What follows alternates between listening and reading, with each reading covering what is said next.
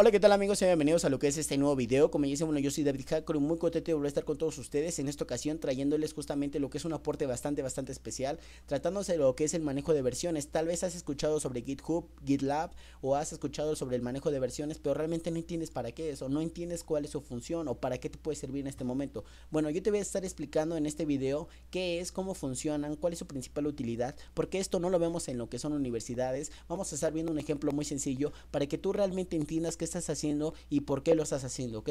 Y hasta el final, bueno, te tengo una sorpresa bastante, bastante buena. Se trata de un contenido, de un, eh, un contenido bastante bueno que, que, yo te recomiendo en lo personal, ¿vale? Así que bueno, si te interesa, aquí está lo que es este video. Si no, bueno, en el siguiente video te voy a mostrar justamente cómo subir tus proyectos con lo que es la terminal de Linux a lo que es GitHub y GitLab, generar la clave SSH y bueno, hacer muchas cosas, ¿vale? Así que bueno, vamos a comenzar. Primeramente, ¿qué es el manejo de versiones? ¿Qué es GitHub? ¿Qué es GitLab? Bueno, el manejo de versiones se trata, bueno, GitHub y GitLab son manejadores de versiones, ¿vale? Ahora, ¿qué son, qué son los manejos de versiones? ¿Por qué no lo has escuchado antes o por qué lo has escuchado pero simplemente no en tu universidad o en tu, en tu, instituto? Bueno, el manejo de versiones se trata justamente sobre proyectos que a veces son tan grandes. Es por eso que en las universidades no lo vemos, porque en las universidades o institutos los proyectos no son tan grandes. Realmente no se les ve la función ahí de que para qué hacer eh, la versión 1.1 de una calculadora, ¿no? O la 1.2 de una calculadora. Es un ejemplo nada más, claro. Eh, entonces no se le ve principal utilidad y es por eso que no se enseña. Pero ya cuando estás en industrias, en empresas grandes, realmente esto se ocupa. ¿Por qué? Porque estás trabajando con muchas personas, estás trabajando sobre un proyecto demasiado grande y que se requiere lo que son las versiones. Ahora vamos a ver realmente la utilidad de alguna de las clases de ingeniería de software. Que sí, yo lo sé, a mí me aburren bastante, me aburrían bastante, pero ahora veo que realmente tienen importancia y te voy a enseñar un ejemplo muy, muy práctico de lo que es la ingeniería de software que viene a relacionarse con el manejo de versiones y GitHub y GitLab. Bueno, vamos a imaginar que tú eres mi cliente, yo soy el programador, desarrollador, ¿vale? Ok, bueno, eh, tú me estás pidiendo lo que es una aplicación que haga 100 operaciones. Muy bien, 100 operaciones y yo te voy a decir, ¿sabes qué? Yo soy capaz de hacerlo, pero te lo voy a, bueno, voy a terminar lo que es el proyecto en un año, ¿vale? Entonces, ¿crees que te convenga realmente que un proyecto te lo entreguen hasta dentro de un año? Bueno, seguramente no, porque seguramente van a estar cambiando tus necesidades. A lo mejor en lugar de esas 100 operaciones dentro de un año, simplemente ya no ocupas a lo mejor eh, 80% de eso o vas a ocupar más cosas, ¿no? Entonces realmente no conviene. Ahora, ¿qué se hace en esos casos cuando son proyectos tan grandes? Bueno, se manejan versiones. ¿A qué se refiere? Bueno, que yo libero la versión 1.1, te la doy a ti cliente, pero solo únicamente llevan 10 funciones. Libero la eh, 1.2 y lleva otras más 15 de las que tenía y te la doy. Y libero la, la 1.3 y lleva más funciones y te la doy, ¿no? Ok, corrigiendo bugs, corrigiendo y aplicando este, nuevas, este, nuevos módulos y cosas por el estilo. Entonces te voy dando versiones, o sea, te voy dando trabajo, pero no todo, porque es tan grande el desarrollo que yo si te quisiera dar lo que es el proyecto terminado me tardaría un año y no te va a servir en un año, ¿ok? Entonces eso es el manejo de versiones. Esto ya es un, eh, en este caso un caso práctico de lo que es ingeniería de software y para eso se ocupa GitHub y GitLab, ¿ok? Es donde tú puedes subir tus proyectos y vas a ponerles, por ejemplo, te voy a enseñar un ejemplo muy, muy básico. Eh, por ejemplo, Five Properties, que es un proyecto que acabo de, hacer. Y bueno, por ejemplo, aquí dice versión final 1.0. Es únicamente un ejemplo, ¿vale?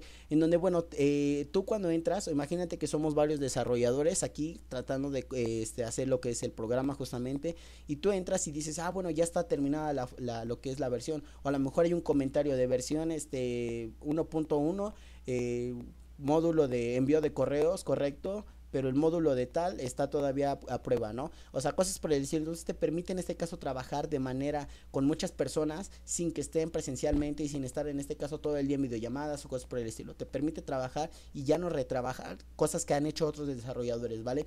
Entonces de eso se trata el manejo de versiones. Es bastante bueno. Y ahora, un consejo que yo te puedo dar es que eh, todos los proyectos que hagas en tu universidad o instituciones los subas a GitHub tengas un portafolio de evidencias. ¿Por qué? Porque cuando llegas a una empresa, te van a decir, ok, está tu título, muy bien, eh, esto me comprueba o me está afirmando que eh, cursaste lo que es la universidad, pero ahora enséñame, dame evidencias. Bueno, seguramente si tú en este caso colocas lo que es una liga a GitHub, lo que es tu perfil en LinkedIn, eh, bueno, eh, la empresa ya va a tener en este caso conocimientos o más seguridad que en realidad sabes hacer las cosas. Entonces, esto puede ser tu portafolio de evidencias. Recuerda que muchísimas veces cuando salimos de la universidad no tenemos experiencia, pero esto, bueno, viene un poco a apoyarnos, ¿no? Justamente a esa parte.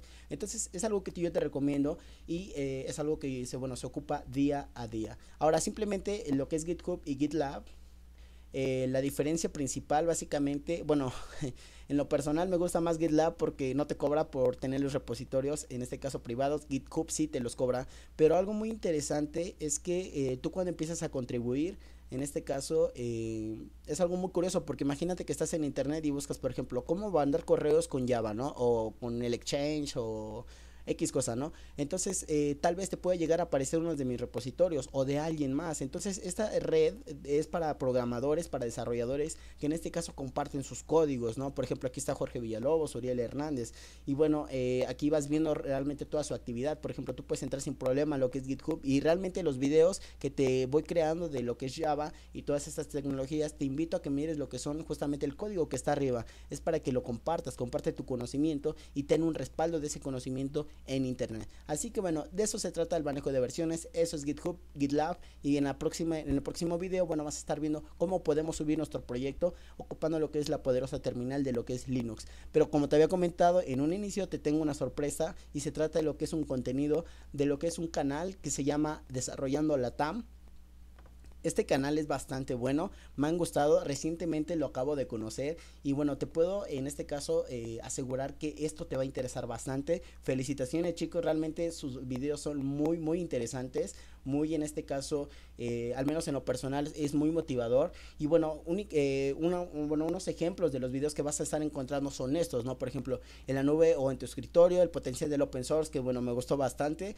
los datos abiertos en el mundo y bueno, tiene bastantes videos que te van a estar interesando Así que bueno, te invito a que mires lo que es este canal, te suscribas y bueno, compartas ese contenido y compartas también el contenido de lo que es mi canal si es que te ha gustado, ¿vale? Así que bueno, nos vemos hasta la próxima, que estén bien, hasta luego, bye.